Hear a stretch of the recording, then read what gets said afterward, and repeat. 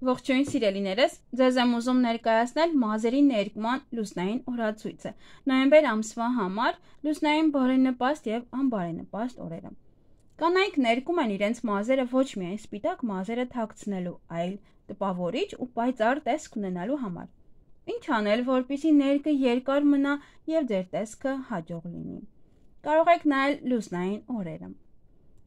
Բարենպաստ օրեր են մազերը ներկելու համար նոյեմբերի 17-ին լուսնային 24-րդ օրը, նոյեմբերի 21-ին լուսնային 28-րդ օրը, նոյեմբերի 24-ին լուսնային 2-րդ օրը, նոյեմբերի 25-ին լուսնային 3-րդ օրը, նոյեմբերի 26-ին լուսնային 4-րդ օրը։ Լավ օրեր են մազերը ներկելու համար։ Նոյեմբերի 19-ին լուսնային 26-րդ օրը, նոյեմբերի 22-ին լուսնային 29-րդ օրը, նոյեմբերի 23-ին լուսնային 30-րդ օրը,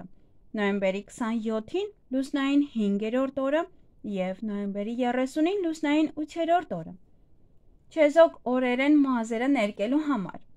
Նոյեմբերի 15-ին լուսնային 22-րդ օրը, նոյեմբերի 18-ին լուսնային 25-րդ օրը եւ նոյեմբերի 20-ին լուսնային 27-րդ օրը։ Վատ օրեր են համարվում մազերը ներկելու համար նոյեմբերի 28-ին լուսնային 6-րդ օրը